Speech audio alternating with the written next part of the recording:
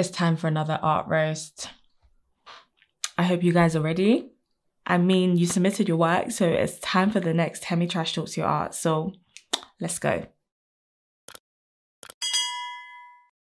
Hey people, it's Temi if you're new here and it's Tuesday today, but it's not time for a Temi's tirade because I've started this Temi Trash Talks Your Art where I just come to critique your artwork.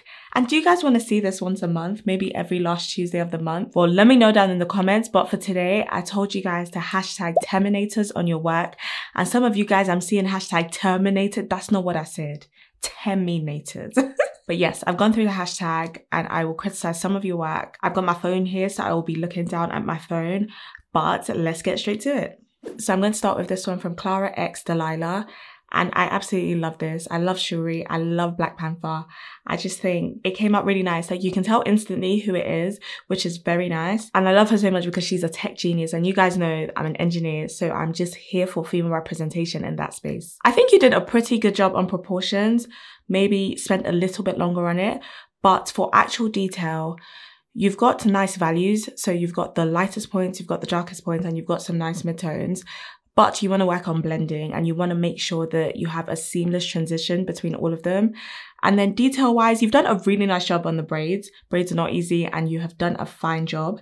Um, but braids don't just start from nothing. So on the scalp where the braids are collecting hair from, you need hair to go into each braid. I hope that makes sense. So you just want to actually draw the dark hair because at the moment the braids look like she's bald and then they just put braids on top of her head. Do you know what I mean? So you need the hair that's being gathered for each braid. I really hope that makes sense.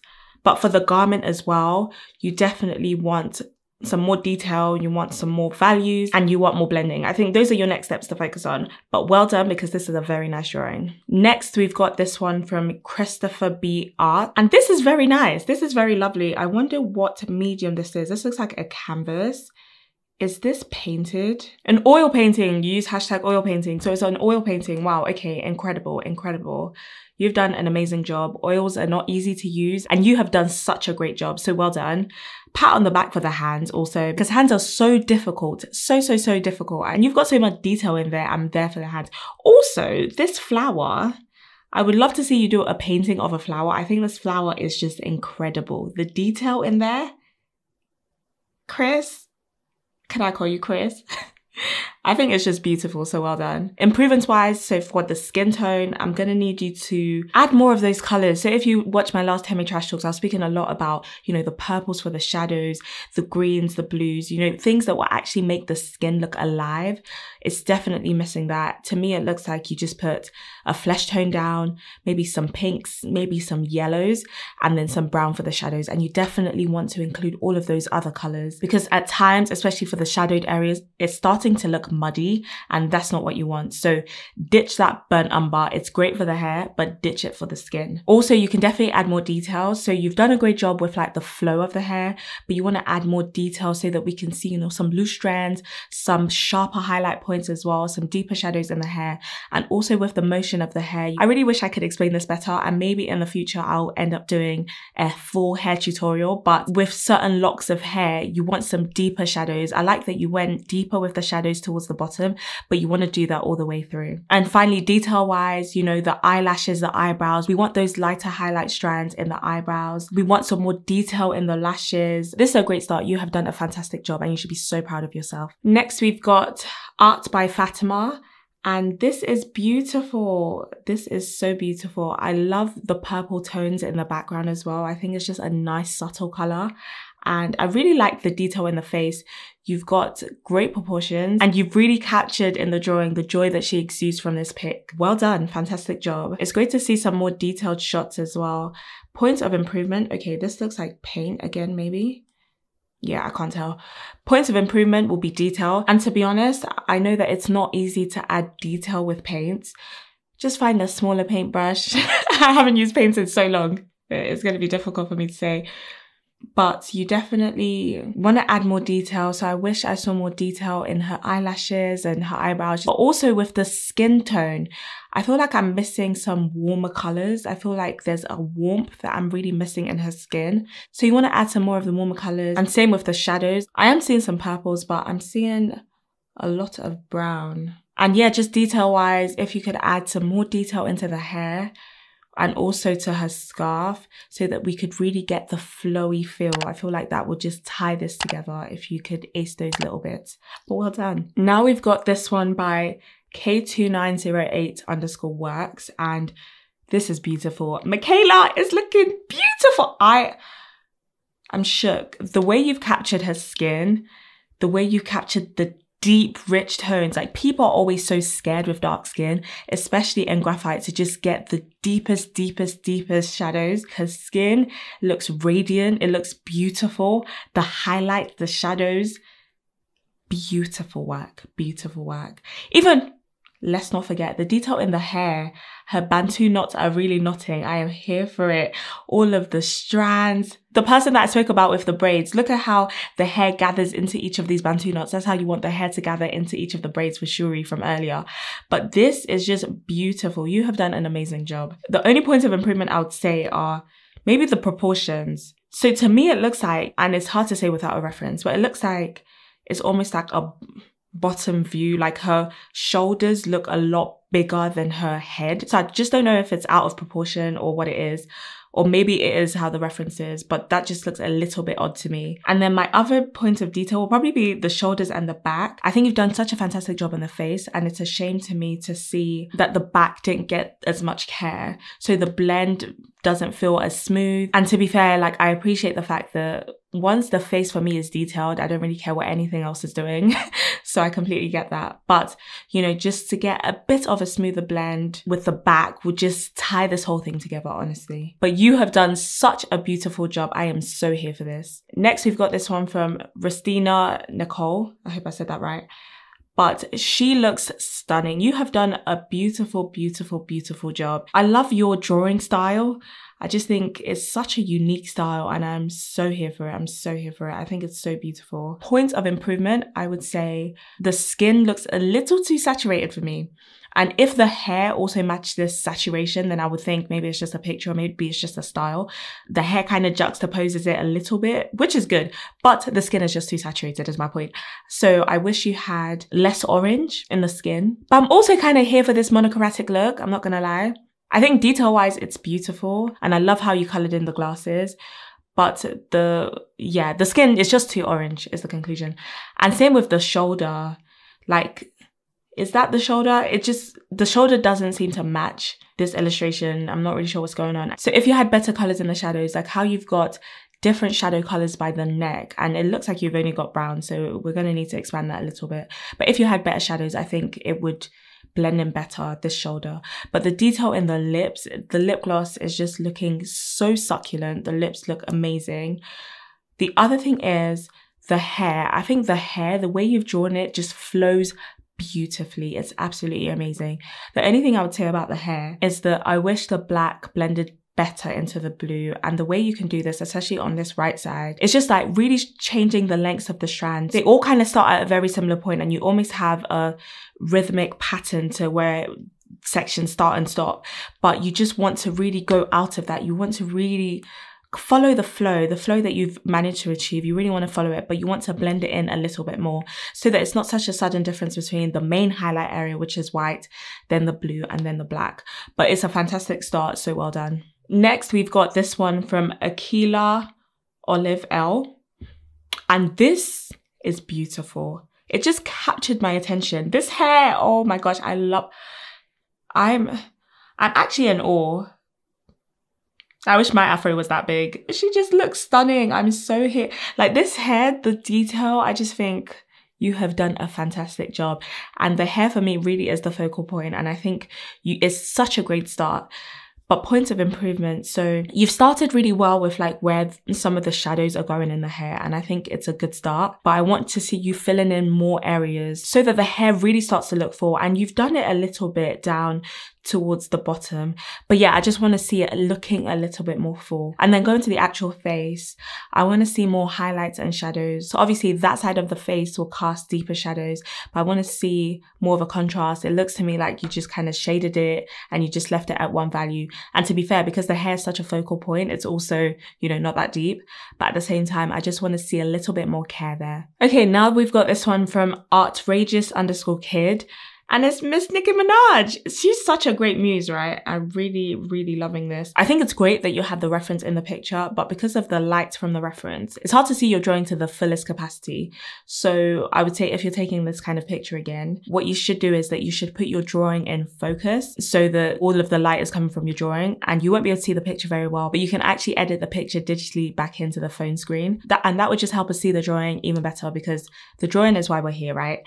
And for the actual drawing, I think you've done a fine job. You've done a really nice job with the hair. The baby hair is really looking cute. Well done for that. And same with the skin tone. I think you've got a really nice skin tone. And you've also got a great likeness. Just looking at your drawing, I can tell that it's Nicki Minaj already, even without the photo next to it. So I think you've done a fantastic job. Now for improvement, um, the proportions, you have done a nice job in the proportions, but some parts of it are a little bit off. So for example, her chin, if you look at the reference, I think you've made her chin a little too long. So if that was shortened a little bit, then it would look a little bit more like her. But also your shadows, I wish you went deeper with your shadows. I can see that you've started it, but I just want you to go uh, even a step further. I think that would just really ace it.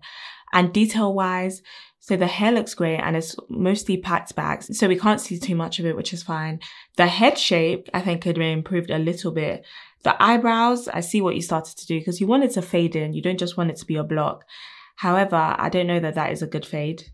It's kind of hard to explain, but if you look at eyebrows, especially on someone that has makeup on, it will always be darker towards the end, but towards the start, it's not just going to be a fade. The fade is like a nice base layer, and then the actual individual strands is what will help it look snatched and together. And I guess my last point of improvement for you is the earrings. I think it's a good start, but it's definitely missing the gold feel. So just watch what colors you're using. You want to bring in a little bit more browns, especially on the left. I think you've done a good job with the shadows. But again, if the shadows were even deeper and if you had more of a brown blend before you got to the yellow, I think that that's what would make it look more realistic. And then for the actual highlights, you want the sharpest whites. So grab a white pen and put in the sharpest, sharpest highlights and that would just improve the earrings. But it's a great start. So well done. Okay. So we've got this one from hey.jasper and oh, I love caricatures. I think they're so, so, so nice. And it looks like you've done a fine job. I don't know if this is your style, but I really love, you know, this big face in focus and then the body just, you know, tiny.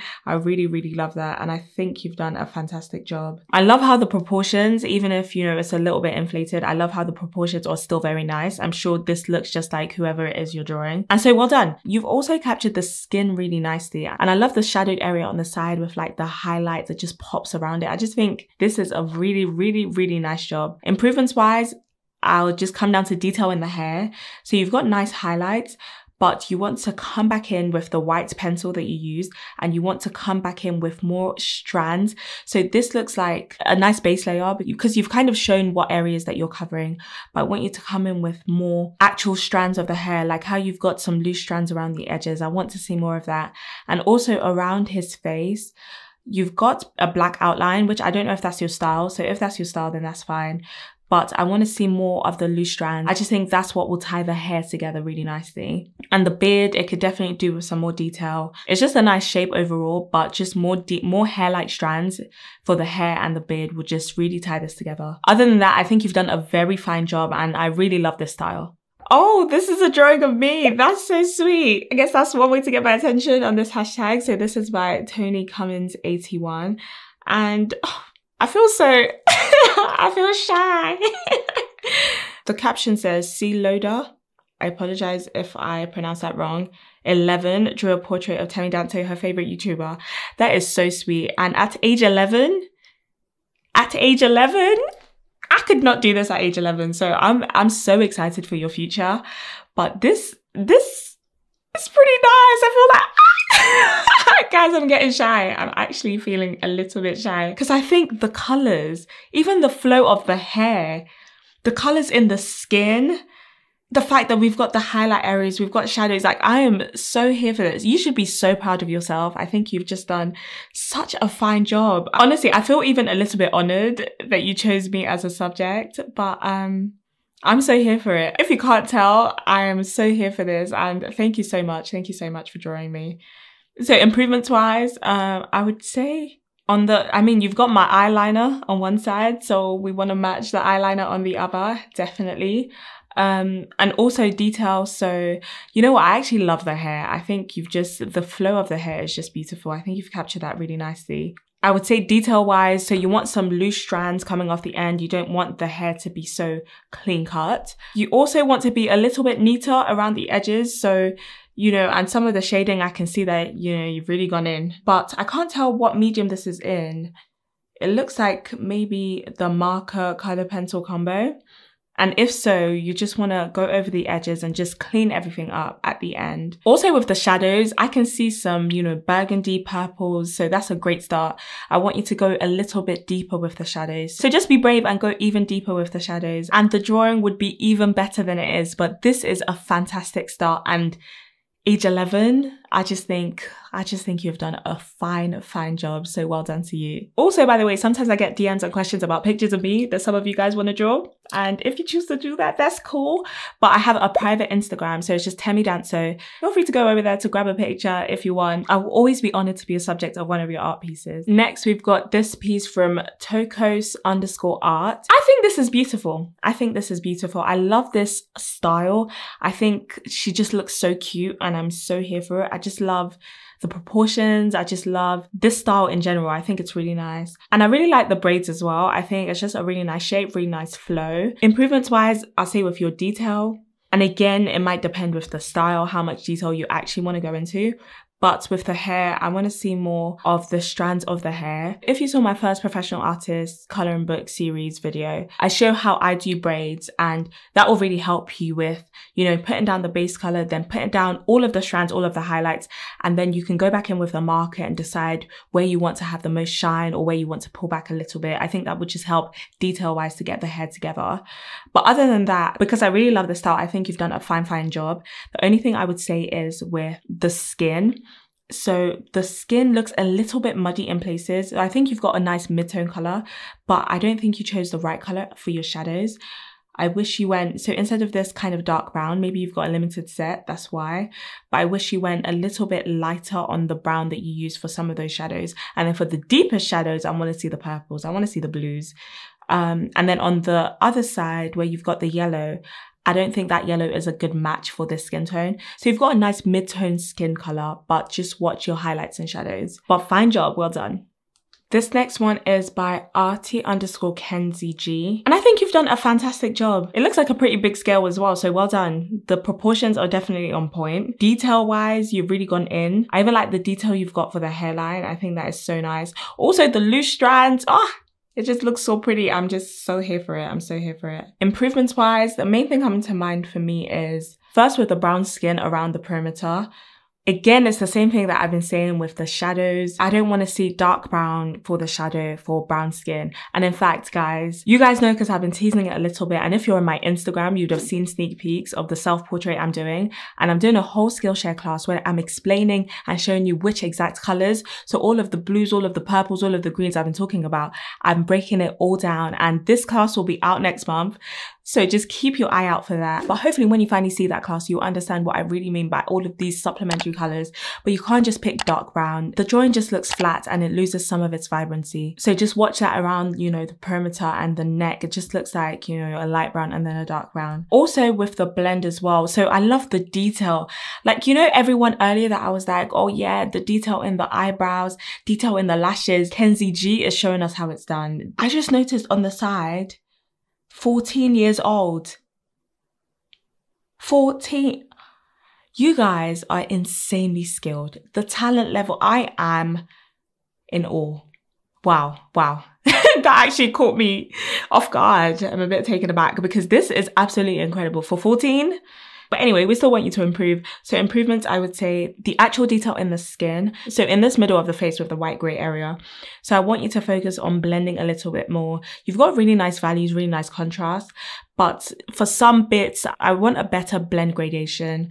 And then also around the nose, I can't really tell where the nose ends properly. I feel like if you went even deeper with those shadows, it would just make this even more alive. But this is brilliant. This is a fantastic start and you should be so proud of yourself because I'm proud of you for creating this.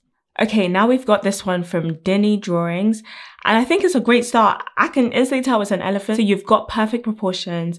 Your values are also really nice. You've got some really nice deep dark points. You've got the white tusk. I feel like this is a really nice start. And it's going to be hard for me to critique this without the reference. But you just want to go even further with the detail. You've kind of started it in the trunk, but I want to see even more detail. I want to see with some of the markings you've got on the ear, I want to see it blend a little bit more. I want to see the creases. It looks like you might have blended with your finger. I want to see you putting a little bit more care into the blend. So just trying to create a smoother blend if you want to use tissue paper. I think if you got your blend together, then it would look even better.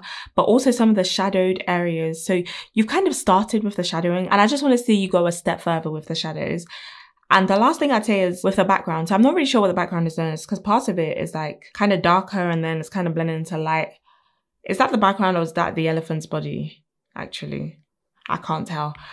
But I just want to see a little bit more separations. So maybe more defined shadows around the ears so that we can really tell because at the moment it's looking a little bit flat and I'm not sure what's going on with the background. But if you want to focus on the subject, then you want to minimize us getting distracted by the background. So just pay attention to that a little bit. But this is a fantastic start, so well done. And that is it for today. I hope even if your work wasn't chosen, I hope you're able to get pointers that will also help you with your work. And let me know, do you guys want to see a Temi Trash Talks every single month? I'll be more than happy to do that if you want to see it. If you want me to do yours next time, just use the hashtag Terminators and I'll look at that and critique some more of your work. So I hope you enjoy this one. Please like and subscribe and I'll see you on the next one. Goodbye.